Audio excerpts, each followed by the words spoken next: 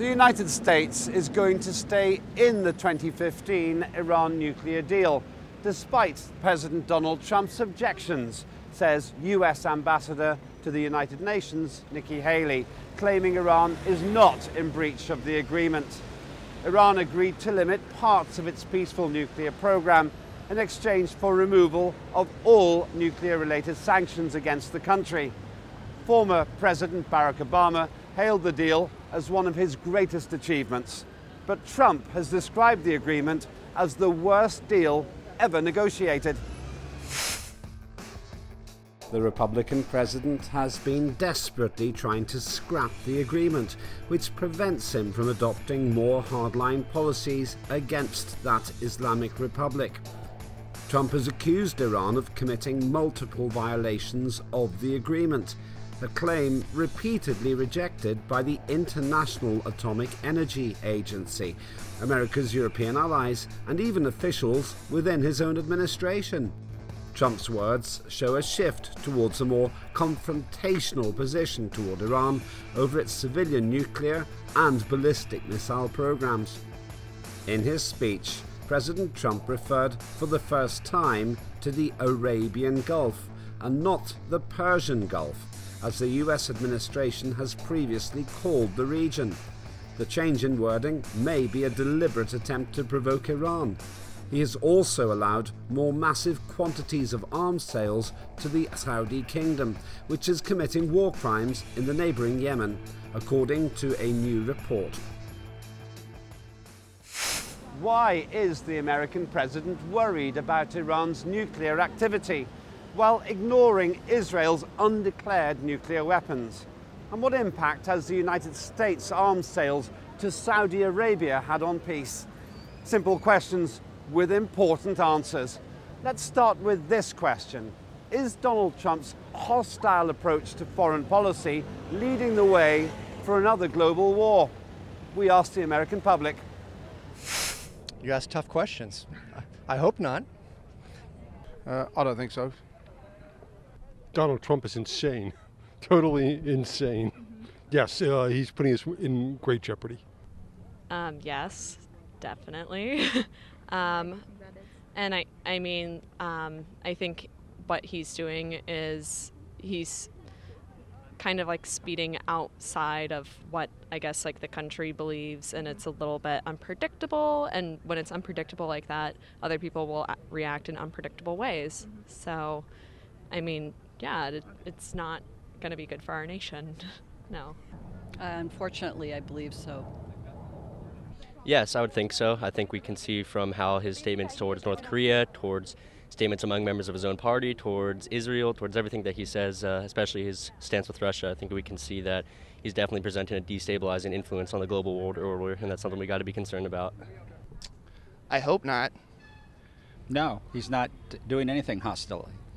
He has no hostile approach. Absolutely. I don't think so. I think he knows what he's doing. Yes, definitely. I really don't think it's a hostile approach. I think he's showing that he's a leader and he's not weak, and we have come off weak for so long.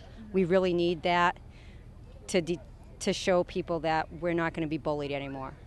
I support him 100% on that. Uh, somewhat, yeah. I think so. Well, I think Donald Trump's uh, position when it comes to foreign policy and when it comes to the U.S. interests abroad, certainly it seems very hostile. It seems to be one that could lead to another global conflagration. Uh, however, I think that Donald Trump's administration is also filled, on the one hand, is filled with generals, uh, but at the same time, there's people around Donald Trump who perhaps want to rein him in a little bit when it comes to issues like North Korea. Trump, of course, stood up at the United Nations and said, we're not going to hesitate to destroy the entirety of the the country. I mean, which really is saying openly on the world stage that I'm willing to commit massive war crimes and crimes against humanity. Uh, so I think that there's people, though, in the Trump administration, such as his Secretary of State, Rex Tillerson, who actually says, no, we should continue negotiations with North Korea. Um, people even like his Defense Secretary, Mattis, who is a war hawk, they're also saying perhaps we should engage in negotiations or we should stay in the Iran nuclear deal. So there seems to be some tension between Trump and those around him in his administration. Some people would say World War III has already happened. Since the end of World War II, the United States and Britain has led a global campaign of genocide across the world.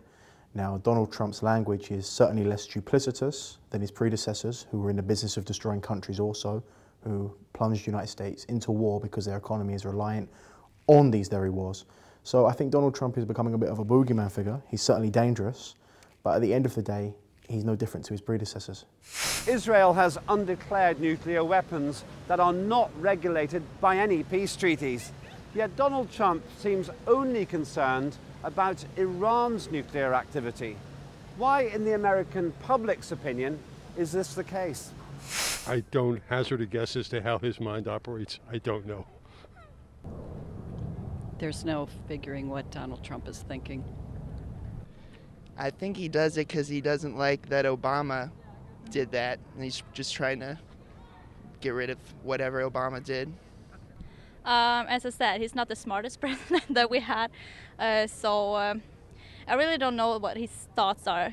Uh, I think no one knows what he's thinking in his head. So. No, that's not true. He's concerned about the overall peace of the, and security of the United States.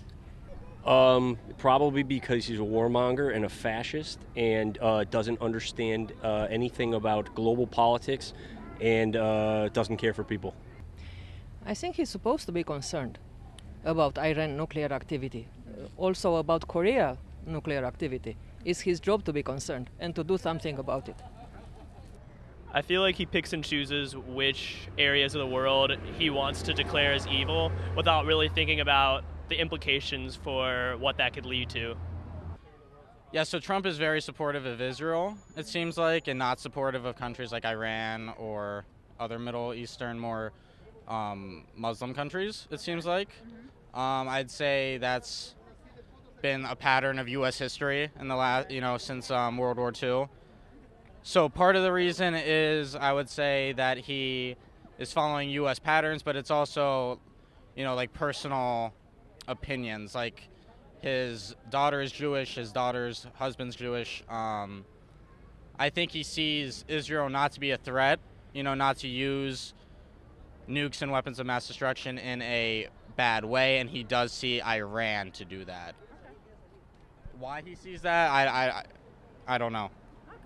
Well, I think nothing really shows the hypocrisy of the United States on the world stage more than its relationship with Israel and the fact that Israel is able to possess vast amounts of nuclear weapons, uh, to be the only nuclear superpower in the Middle East, and yet a country like Iran, which was trying to develop uh, nuclear capacity for peaceful purposes, in fact, they've said many times that there was no desire to actually produce nuclear weapons, comes under attack from the United States. Uh, I think that you can see Israel as a U.S. military base in the Middle East. I think it's an extension of U.S. imperialism, it's an extension of uh, colonialism, and it really functions to serve the interests of Washington and the Pentagon uh, in that particular region. And I think that the, the primary goal really of, of using Israel is to uh, fight against any independent or nationalist governments in the, in the region that refuse to play ball with U.S. imperialism. Well, Iran is a country that stands against US imperialism what it calls the Great Satan. Israel is essentially an aircraft carrier for the United States and Britain in the region. It's cheaper than having a permanent aircraft carrier base there. So people bang on about how much money in aid the United States gives to Israel each year. It's nothing in the grand scheme of things. It's there because it allows them to wage war across the Middle East. Trump signed a multi billion dollar arms deal with Saudi Arabia on his first visit to the country. How have such actions contributed to peace and stability in the region? Here's the American public's view. I think in general that the U.S. should attempt to get along with whomever we can and uh, anywhere and everywhere. It's been going on for years, hasn't it? It's been going on for years. Britain's been selling them to years, for years to Saudi Arabia. Everyone has. Everyone. I don't think it does contribute to peace, but mm-hmm. as long as I don't use them aggressively, then no problem. Uh, I don't think Saudi Arabia contributes anything to peace. Uh, the Wahhabis mm-hmm. uh, and their philosophy, I think, uh, have been a threat throughout the world for many years, uh, since the country was created in 1937. Would that be right? I think so. I'm not sure how to answer that, mm-hmm. but I hope that people around the world know that Donald Trump doesn't speak of the views of all Americans. That um, I would think the majority of people in America are much more interested in peace and and getting along with people of all nations and religions. Um, and I think it's possible that we can all do that. Well, I think it's an incredibly destabilizing force because when you supply a country like Saudi Arabia that has known human rights violations and is undergoing considerable war crimes in Yemen, and we're funding them and providing all sorts of military aid, I think that's a very much a destabilizing force in the region, and I hate to see that. And the Middle East already has enough problems, and it, it, it's unfortunate that we continue to pile them on. I don't think it contributes to peace or stability at all. Um, I think they should be worried uh, less about buying weapons and more about peace? Uh, by weapons, I don't think it's peace anywhere. Uh, so just by selling more weapons and stop with weapons doesn't make it peace anywhere. So it's just crazy. I trust our national leaders to have the safety and security of the United States interests at heart, and I would trust that that was the right move to make at the time that he made it. I don't think they do at all. They do not contribute to peace or stability in the region. Um, I must say I don't know what to answer to this question. That's a difficult one because um, having lived in the Middle East, um, you have a slightly different view as to the stabilization of the world. Um, that I'm not too sure of. I've heard mixed, and I've only heard bits and pieces. A lot, I think, has been um, edited out for us to hear. So I'm sure he's a smart man. He's got good guys behind him giving him information. I'm sure he's he's going by his I'm sorry, his um, not advocates, mm-hmm. His people that are advising him that knows what's going on. So I, I do support him. I think if they're signing a deal, that at least helps things. Um, but I feel like it should be for you know a lot more groups than just one. Um, I feel like, like I said kind of before, how he picks and chooses. I think that kind of attitude is what really kind of destroys any stability. I don't really know why he would do that, because like Saudi Arabia, um, like I wouldn't say like like obviously they're wealthy and they could st- help stabilize the region, but you know they have many laws that we don't agree with. Um, so it seems like he's just he does maybe would do a deal with them and not a country like Iran or Iraq basically because like wealth. Well, they don't contribute to peace and stability. In fact, they do nothing but destabilize the region. Um, Saudi Arabia is another glaring example of the hypocrisy of the U.S. when it claims to fight for freedom and democracy, and you have this uh, kingdom, this very reactionary regime in place in Riyadh, uh, which, among other things, is involved in the destruction of the country of Yemen at the present moment.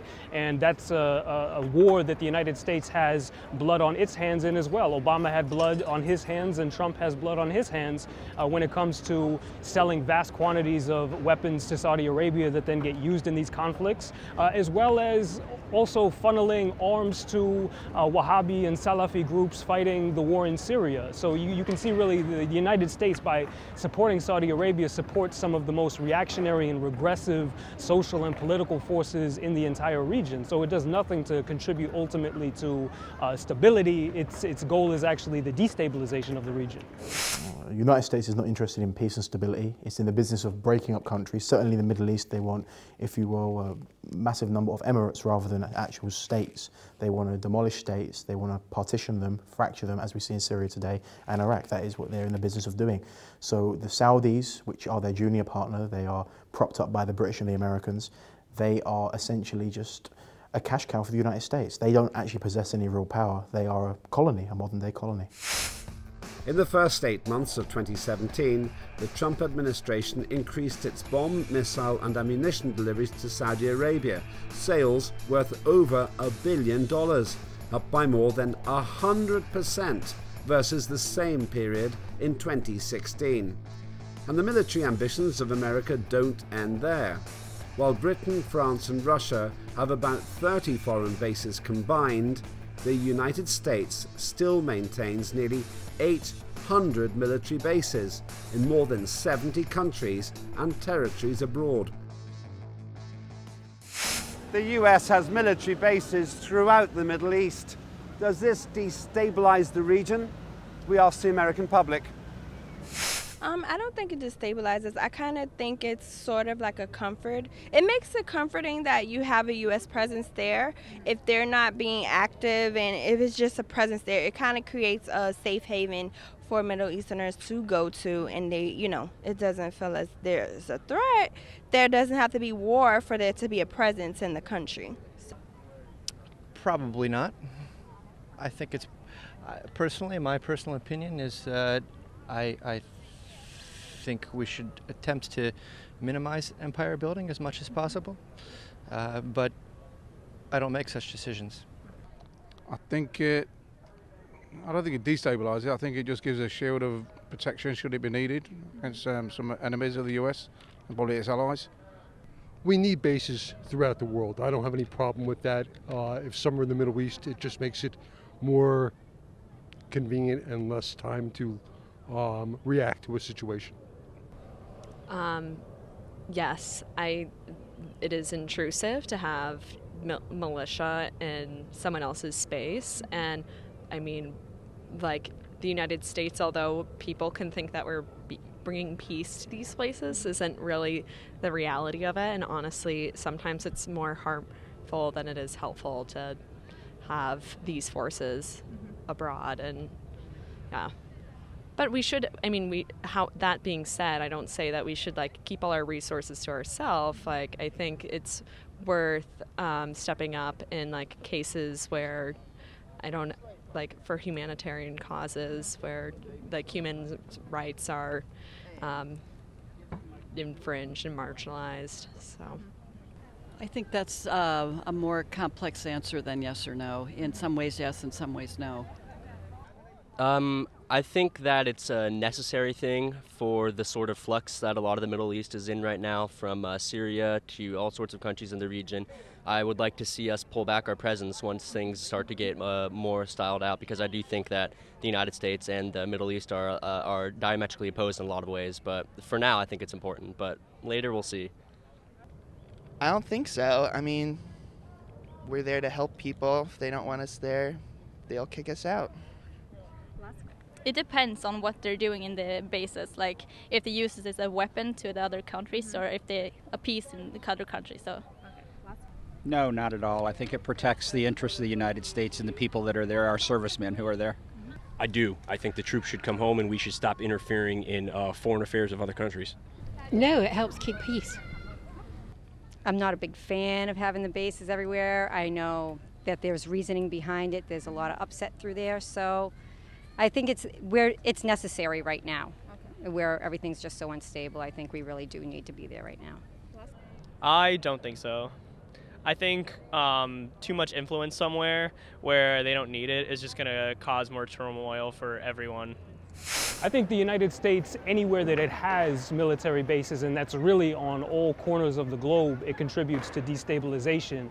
I mean, we can just look at what's happening right now perhaps far away from the Middle East, but if you look at the U.S. position and posture towards Venezuela, it's very, very similar. And it, of course, uses its military outposts, whether that's in Colombia or other countries uh, in which it has good relationships with, to destabilize those, those governments. Uh, so, you know, if the U.S. has military bases in Bahrain or in Qatar, which is also very interesting because Trump has, in that dispute, uh, come out on the side of Saudi Arabia, but the other uh, forces within his government want to maintain good relationships with both Saudi and Qatar.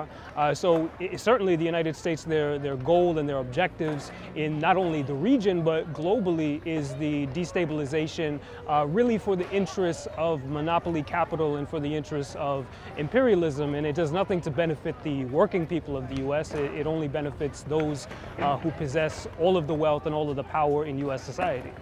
Well, the United States are currently in more than 150 countries around the world. That's United States troops. So what they're in the business of is protecting their economy. In Niger recently, four US troops were killed. Why were they there? They were protecting their looting of the uranium. It was Barack Obama who basically said to France, you can recolonize your former colonies as long as you're subordinate to US interest. So the troops in the Middle East, everywhere in the world, are there to protect US domination. The US's actions in places like Iraq and Afghanistan and Libya have destabilized the Middle East. So is the United States really in a moral position to make judgments on Iran? We put that to the American public. Probably not. There's a leader of the free world and the, the, the biggest superpower in the world. They have to make decisions. Sometimes they're not always right, sometimes they're not wrong, but I think somebody's got to make them. That's how, that's how you deal with them, how you interpret them, isn't it? How you deal with them. The United States, well, are they, I think most Iranians probably want peace as much as most Americans. Um, the United States should never have invaded Iraq. There was no reason for it. It was a false premise. Uh, our moral authority has uh, diminished over the years, let's put it that way. No, it is not. Um, I think again, like people are entitled to their beliefs and systems, and like until people are getting hurt, I don't think that, um, or uh, honestly, there's the chance that someone will get hurt. We shouldn't infringe or make opinions or favoritism different belief systems than others. Um, definitely not. I think everyone's equal in that department, and um, the United States is as equal in the blame for the dis- destabilization. Uh, no, not if they know what the information is about in Iran or the consequences or what's happening. Right. Uh, but I don't feel that they're making any good stuff with it. okay. so. I don't think that that's the case at all. I think the United States are in those areas uh, simply to protect the interests of the United States. And if you remember, that's where the 9 11 hijackers came from, that region of the country. So uh, I think it's uh, by all means the right thing to do. Not at all. Nobody is, is in a position to make moral judgments. Um, yeah, I don't think they should have had it in the first place. And I think with the issues with terrorism and stuff, and he's really trying to cut down on that. Mm-hmm. I, I think we really do need to be there. I think this needs to happen right now. I feel like yes and no. They can at least help when needed, but I think going too far and bringing in like military things like that um, would be overkill, and I think would stir things up more than it should, and also just be a lot of money spent. There's no type of moral or, or ethical leg that the United States can stand on when it comes to judging Iran for anything. And we can have a separate conversation about Iran and its uh, motivations in the region. But when it comes to the United States and when it comes to Trump, for example, saying that he wants to decertify the uh, so-called Iran nuclear deal, it's, it's absolutely absurd. And you, you cite the example of Libya, which I think is an important one because Libya was a country that was destroyed by NATO bombs. It was a country destroyed by the United States, Britain, and France. And now we see it today, six years after that war, uh, what was the richest country in all of Africa now is completely plundered and it has no viable government. We see Iraq, which is a state that's been fragmented, a state that now you can see the sectarianism and nationalism running uh, rife throughout society. Um, you can, there's countless other examples of societies and countries which the U.S. has uh, invaded or intervened in for what it calls humanitarian reasons, but they actually have nothing fundamentally to do with freedom or democracy or, or any type of humanitarian purpose whatsoever. Well, the United States is not in the business of peace and stabilization. Saudi Arabia, which is propped up by the British and Americans, is a colony, a neo-colonial entity, as are most of the Gulfi states. The Saudi deal is essentially a cash cow for the United States. They prop up the US economy the same way that Bahrain and Qatar prop up the British economy. But it's not a sense that the US or Britain are clients of those countries. Those countries are clients of the US and Britain. They are the junior partners in these relationships. President Donald Trump has repeatedly refused to certify or endorse the nuclear agreement with Iran. His language has been overtly provocative. He has used confrontational phraseology in a series of public statements regarding Iran. In defiance of other world powers, President Trump has said he might ultimately terminate the agreements which were made with Tehran if he succeeds, that would end a landmark victory of multilateral diplomacy and replace it with active provocation. When so many people hope for peace, Donald Trump seems happy to serve up all the ingredients that could lead to war.